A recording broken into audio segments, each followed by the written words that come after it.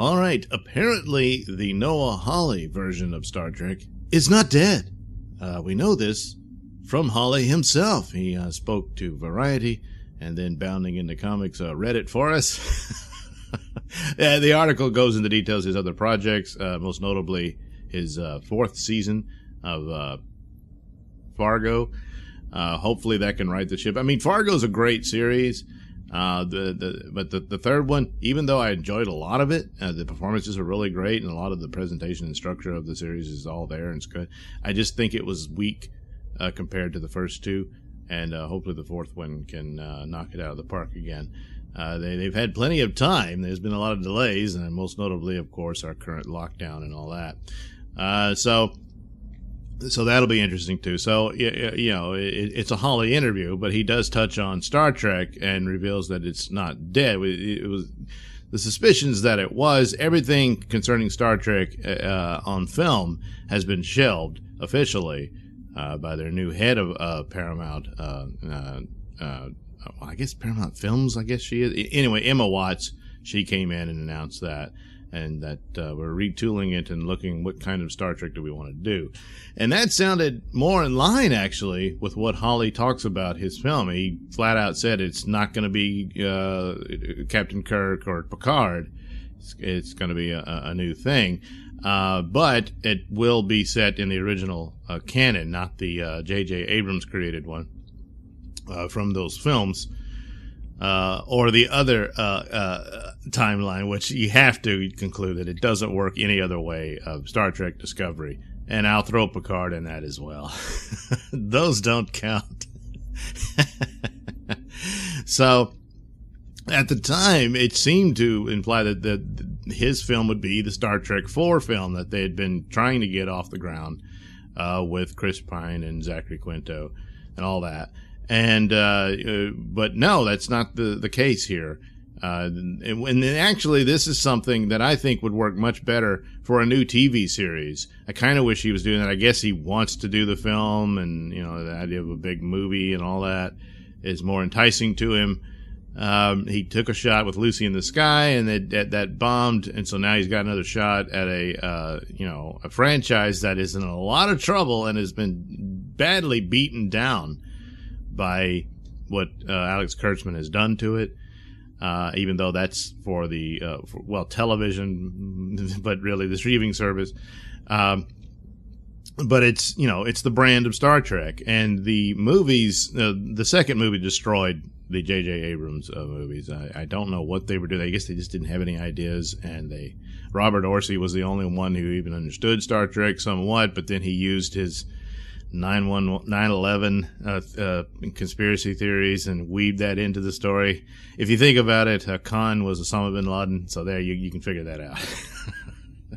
but even the whole idea of bringing Khan back, and it was stupid to begin with. They just didn't have anything. They had one good movie in them, and that was it. So the third one is sort of okay, but it's it's a pale shadow compared to the first one, and so it was done. It was over. Uh, they wanted to do a fourth one. They were going to tie it in to the first movie with uh, time travel, where Kirk apparently meets his father, George Kirk, played by Chris Hemsworth, and that was the deal. But uh, well, they didn't have the money. Their investors uh, uh, uh, backed out because of the, the, the bombs, the other two, and they figured, well, this is over. It's, it's a sinking ship.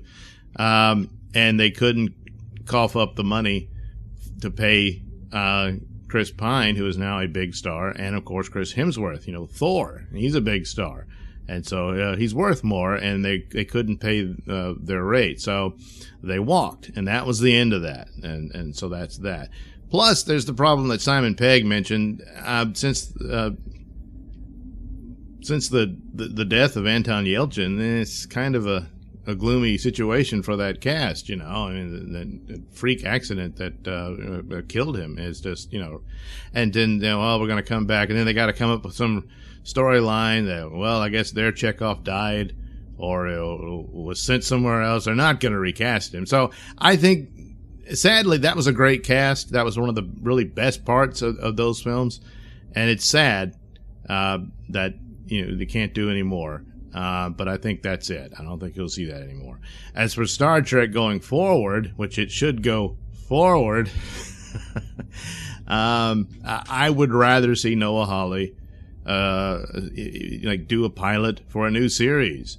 I don't know if he'd want to show run it like he did with Fargo and all that, but but what have you gets it off the ground and introduce this new cast and stuff, and then show yeah it, it's in that canon, but it's in a, future beyond the next generation era, and uh, we go with that, and you you get back to what Star Trek is, and it's just in this other time. There's other elements there. There's more advancement, things that they can do, that sort of thing you you put in there but uh, that's about it. Now, the rumors of uh, where the his film idea got rejected because it was deemed too Trekky.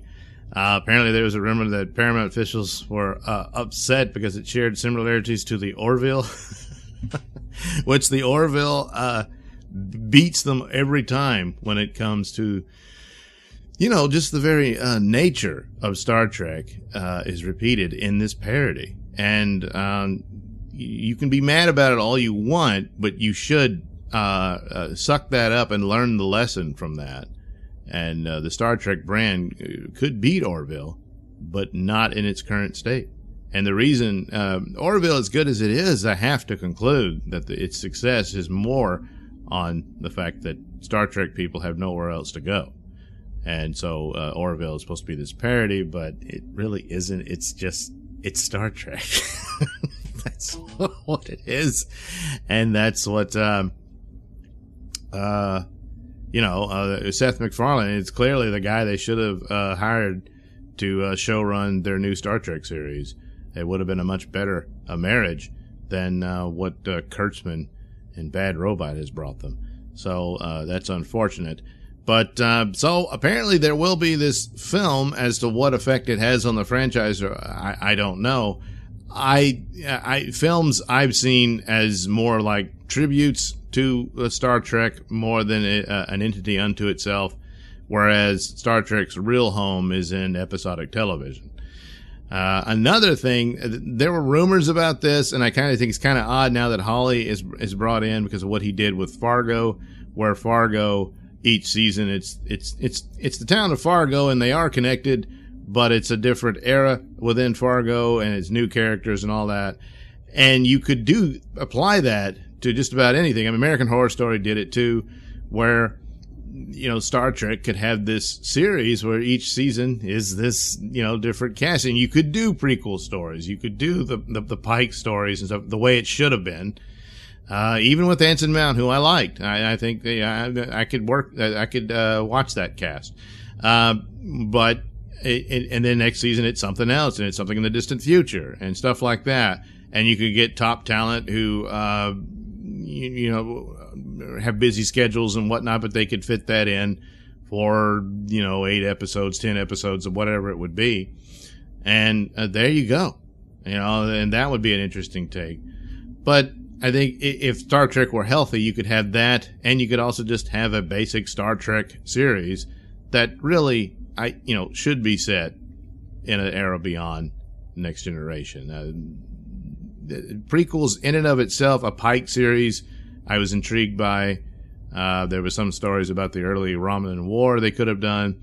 That's interesting somewhat, but at this point they keep fumbling the ball so badly on that. I think their best bet is to go in deeper into the future for Star Trek and uh, come up with a new cast. And uh, but they still, I mean, it's still this problem of you've got to have somebody who knows what they're doing and cannot repeat things that have already been uh, handled in previous episodes and series uh, and that sort of thing, which uh, happens all the time in Discovery, and they do it very, very bad. And Picard, the whole Picard series was going over material that Next Generation had already covered and did better, typically in one episode. So, no more of that. but it's probably going to get it. But anyway, so it's not really Star Trek 4, it's Star Trek Hawley at this point as to what that is. Apparently, they still have some hope that Star Trek 4 could happen with that uh, with the J.J. Uh, Abrams crew, or the Kelvin timeline, if you will. And but I I'm rather dubious on that, considering how Simon Pegg put it. Uh, but I, you know, I suppose uh, if they can come up with the pay for Chris Pine, they can have him come back and be Captain Kirk in that time travel story. Uh, but at this point, I think the the ship has really warped out on that one, and um, uh, Hawley's project is probably the one to look forward to as possibly happening. Um, but uh, it's just Star Trek remains in a really bad place. But uh, Emma Watts is correct in uh, kind of uh, reassessing this and figuring out how they want to really reboot it, you know, in a lot of ways. And uh, so uh, there's always the, the, the promise of some savior is going to come in and do it, and now that's her for the time being.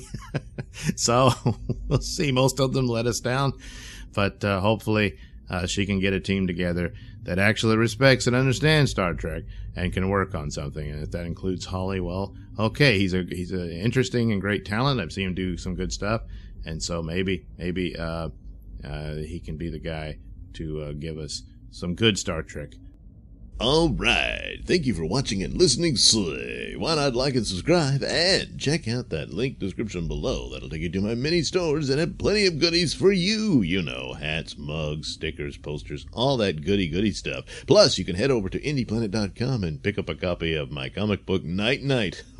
oh yeah. Plus, you can also catch my podcast, Mr. Nailsin Show, over at RadioMisfits.com.